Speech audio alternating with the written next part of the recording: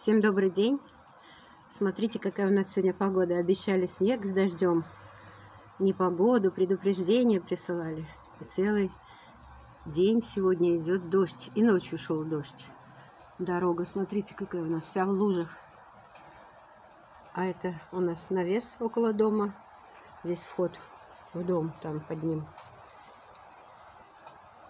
Шумит, слышите, как шумит?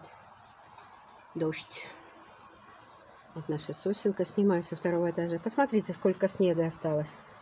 Чуть-чуть совсем. А воды море целое, ручьи. Ручьи. В этих бочках у меня летом цветы росли. А там в саду вообще наводнение. Дальше вот там. Вот. Там наша теплица. Наводнение. Куда эта вода будет потом уходить? И как долго? С этого окна я вам снимаю. Это второй этаж. А под, это, под этой комнатой мамина комната находится. Мама там подо мной сейчас внизу.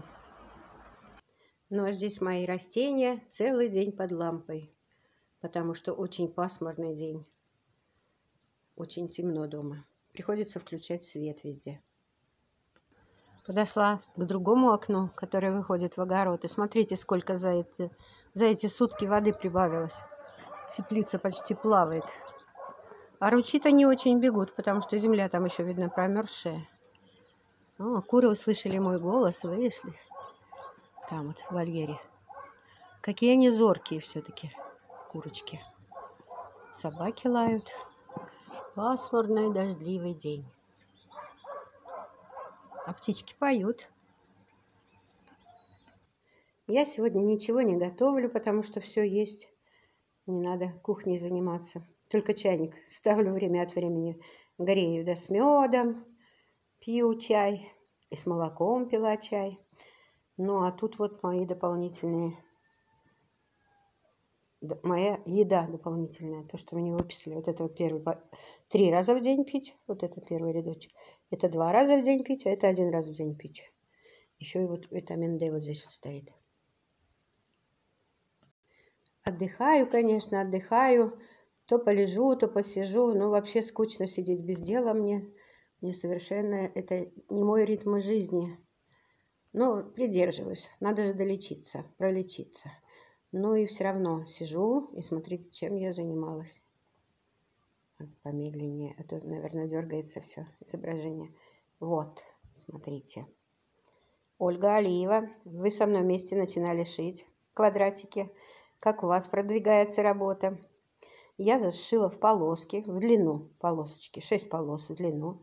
Я просто на пол разложила, как они должны быть, но еще между собой их не соединила полоски.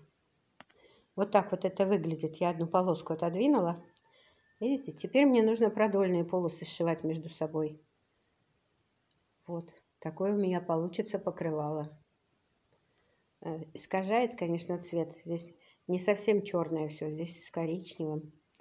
С коричневым, с бежевым. Рисунок такой интересный. Блок квадрат в квадрате. Вот такой вот. Серединка у меня. Я назвала это покрывало кофе с молоком или со сливками. Вот в середине 4 квадратика отличаются по рисунку. Это пеночка на кофе, наверное, у меня будет. Так что я занимаюсь, шью, сижу. немножко пошью, пошью. Чувствую, что спина устала, глаза устали. Я откладываю в сторону и что-нибудь по телевизору посмотрю. В общем, отдыхаю.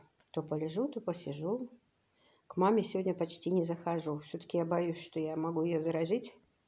А, кстати, я же еще делаю упражнения для а, сосудов шеи и головы нашли в интернете упражнения. 20 с лишним минут каждый день занимаюсь, делаю упражнения.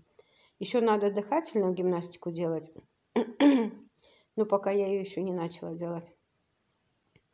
Вот.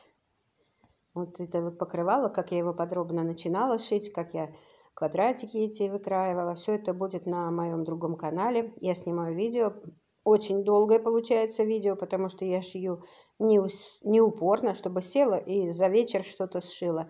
Нет, я шью по возможности. Когда у меня есть время. Желание у меня есть всегда, а вот время, когда есть, тогда я начинаю шить, сидеть. А может быть, вечером отложу в сторону, так вязать хочу. Вот так вот. Друзья, я вам все-таки решила показаться, кто по мне соскучился. Вот так я сегодня выгляжу.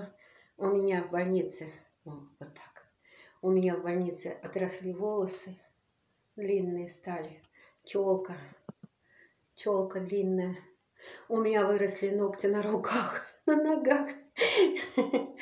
Вот что, 10 дней и такие изменения. Но голос хрипой пока. Но ничего страшного, прорвемся вместе с вами, с вашей поддержкой. Везде дома темно, свет не захотела включать. Вот поднялась в такое помещение, оно маленькое. А здесь свет включен, здесь светло. Ну ладно, прощаюсь с вами, до новых встреч, всего вам хорошего, доброго и замечательных, замечательных событий в ваших жизнях. Пока.